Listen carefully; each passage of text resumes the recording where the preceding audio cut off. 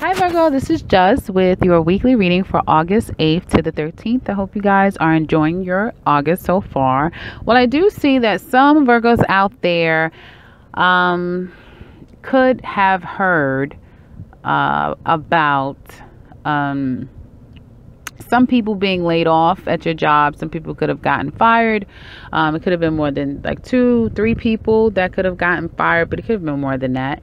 Um, and um, I feel like now it's a lot of competition at the workplace, people trying to get um, promoted, trying to take over other people's spot, spots. There's a lot of discord going on at the workplace for some of my Virgos because um, some people have to take over other people's workload. Um, I'm almost getting the same energy that I got for Gemini quite some time back when it all when these uh, cards kind of different cards, but the same energy was echoing. Um, so I do see that there's some conflict and discord, um, bickering at the workplace. I feel like, in spite of a lot of people kind of acting childish because of this shakeup and change, some of them are mad because they have to leave. Others, I feel, are pissed because they have to take on some workload or they're just, you know, coattailing those around them that um, is creating the unnecessary drama, if you will. Uh, I feel like um, you're just going to keep doing what you're doing okay? Uh, you're gonna take on the extra work and i feel like you know that this is either because you know virgos you guys always have a plan. So you're saying okay i'm gonna stay out of the fray because i'm no dummy and i'm gonna take on this extra work with no problem and i'm gonna do by my time but then i'm also gonna be working my plan as to how i can get myself to a different position or how i get out of here i've been telling you guys that for the longest a lot of you have already gotten out some of you are still planning your exit strategy. So you're taking on this extra load, but you're saying, okay, I'm gonna buy my time, I'm keep my head low, and I'm keep going because I'm going to either get out of here or I'm going to do everything I can because I got my eye on a bigger prize, which is a promotion. Um, or they're gonna have to give me some days off or whatever it is. You know, whatever you're putting in, you have a plan to kind of get that coming back to you some kind of way. Um, I feel like for some of you that that applies to, you have a child with someone, and I feel like there may be some discussions about um, them having to, you know, play more of a part, especially if you have to put in more hours at the job, if you have to, you know, take on more of responsibility that takes you away from the child. Maybe you may need to have more t- participation from the other parent. Okay. Um, I feel like that's for people that the, the child lives with you, but the other parent, or, you know, child live with you, child live with the other parent. So if it's my men, the, the child lives with the mother. For my ladies, the child lives with you. Okay. Um, and he's thinking about it, he's ruminating on it, he's contemplating, trying to figure out if he wants to do this, but I do feel he cares, and so um, I'm just assuming. I don't see any cards that would suggest that, but I'm assuming that it seems to me that he will be. He he he seems to care, but he's thinking about it. Uh, others of you, I feel like you're you're having a lot of conflict.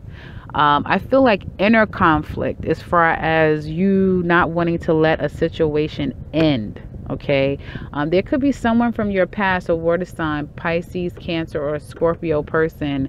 Um, it could be someone that you share a child with or someone that was very significant in your child you and your your child's life.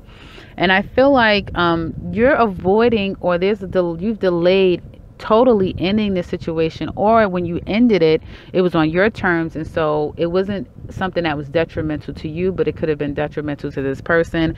And you're kind of like this person may be coming back and now there's conflict like you guys are bickering and and going at it with one another. Um and now you're just i feel like toward the end of the week you're going to be trying your best to kind of keep things at, at a level okay? Um, some of you if this person is the other parent you know this person has to be in your life to some extent. Um, so i feel like you're doing your best to kind of like keep it all going you know um, because either you're not ready to end it yet and let it go or this person can't really like just 100% be out of your life because you share a child. So i feel like you're going to do what you can to kind of just keep it going because i feel like there needs to be some type of decision made but someone's not you're not really ready to make a decision so you're going to keep doing what you're doing you're not going to be really ready to make an actual decision yet um, Yeah, so that's what I see for you guys for this week. Money looks a little um, like juggling. Some of you guys are going to have to juggle a little bit of money.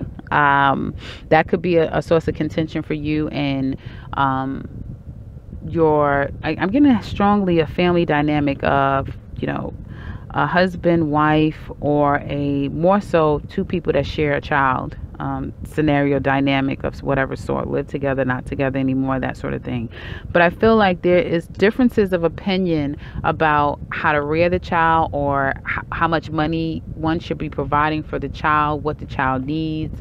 Um, you may feel like, you know, I'm already given, I can't really give you any more. And the person is saying, well, you know, I need a lot more because it costs a lot of money for you to get to, to take care of children.